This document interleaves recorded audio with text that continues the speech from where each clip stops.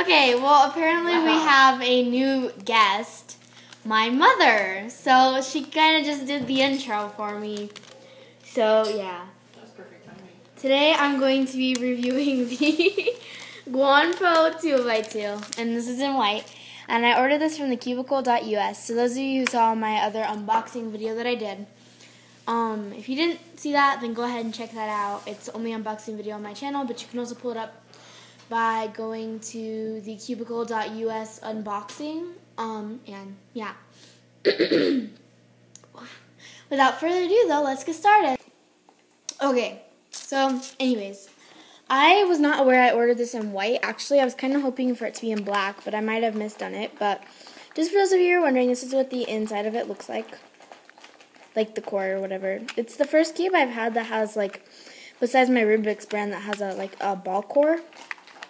I guess that's what I call it, but yeah, I've never really had a cube with a ball core, but I've never really done 2x2 stuff, so never really been able to look into my other 2x2s, so that's probably why I've never had those cubes.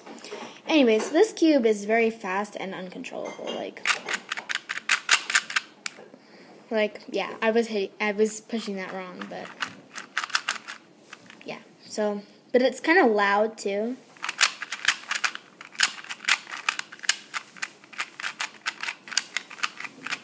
Oh wait, sorry, I solved that. Wow. Okay. Anyways, so with this though, the only problem I am noticing, or not problem, but really good thing that I'm, no, or good thing that I'm noticing is the corner cutting.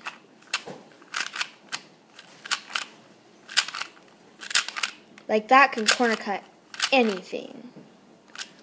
Well, besides that, but you know what I mean. So yeah, you guys all know that on the videos I do when I'm reviewing stuff, I give it a star rating, and then the star rating correlates basically to um, beginner, intermediate, or advanced level cubing. So I would recommend this as a four star, which is kind of the in between between advanced and intermediate cubing. This is definitely a good cube for intermediate cubers because this is just better than yeah yeah but it's a kind of an okay cube for advanced cubing. This would, if you're an advanced cuber, this would not be your main. But yeah, I paid four dollars for this, so I'm not, I was not really looking for it to be main material, but it's easily slid its way to becoming my main. So yeah, please remember to like, comment, subscribe into my channel, and I'll see you guys next time.